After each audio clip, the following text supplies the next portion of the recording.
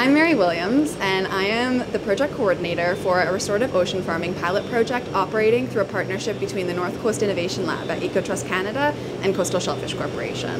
The restorative ocean farming project is scoping the best way to meet local demands for seafood, locally produced seafood that is healthy and affordable, while also building a self sustaining ocean farm operation that grows different species of kelp shellfish, and potentially more aquatic species in vertical ocean plots. In coastal shellfish, uh, our scallops are a zero input food, which means that there is no food added to the scallops. Uh, there is no fresh water, there's no fertilizer, and there's no antibiotics. So we actually grow the food that we're going to feed to the juvenile scallops, the baby scallops as it were, and this is algae.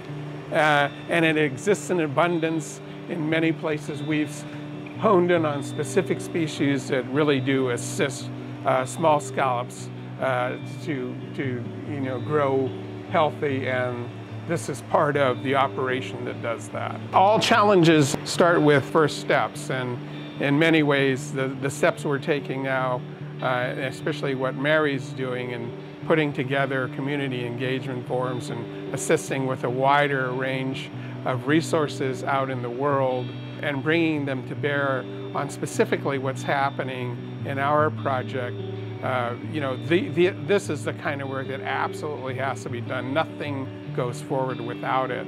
So it's a huge, it's a huge benefit to us and ultimately the project. It was nice to have the North Coast Innovation Lab uh, be focused on that, the notion of resiliency and food security, as those are kind of the two most important things on a local level. Climate change, biodiversity loss, and rising food costs will continue to challenge the way we produce and consume foods. Through the Restorative Ocean Farming Project, we have the opportunity to get ahead of future food trends and serve as a demonstration for what a sustainable, self sustaining, community based restorative ocean farm could look like.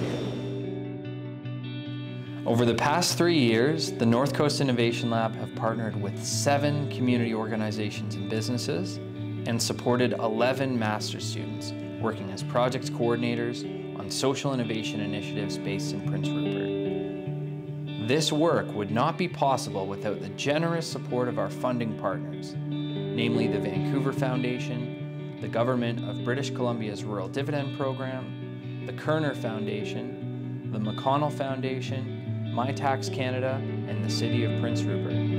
Thank you.